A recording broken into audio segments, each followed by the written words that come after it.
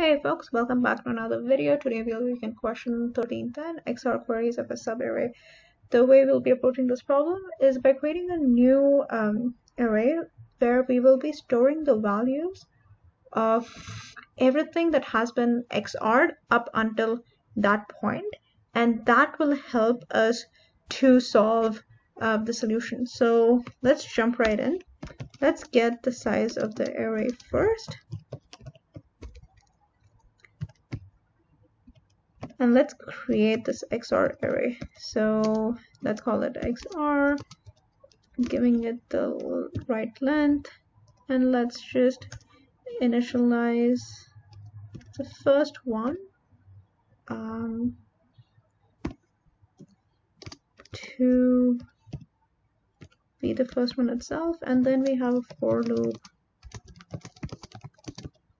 that takes care of the rest. So XOR of i it would be xr of i minus 1 multiplied by um, r of i. So what this does is that it takes care of XORing all of the values that you've seen previously and the current value itself. And that will help us. So let's get the size of queries that we need to compute. And then let's say for int i equals 0 um, i less than size increment of i we also need a resulting array that would would return. This would be size. And in the end you would just return the result itself.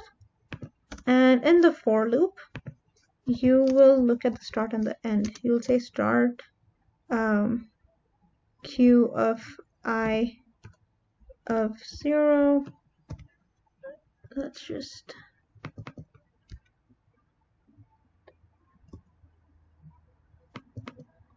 copy that right here and you would do the same for the end.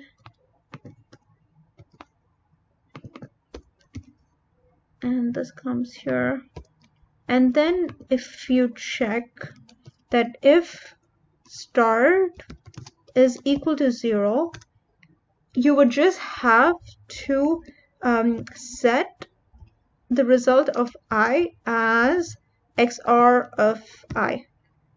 And the reason why you're doing that is because since xr keeps a track of all the values that have been XOR, uh, previously uh, to that and the current value itself and the start is zero. So XOR of i will actually have the value that you're looking for.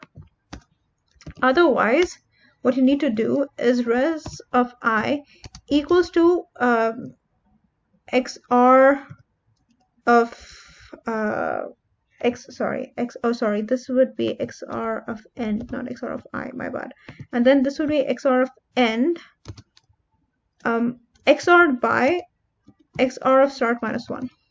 So what this does is that it negates the value that has been XORed previous to the value of L that's given, which is right here. So between L and R.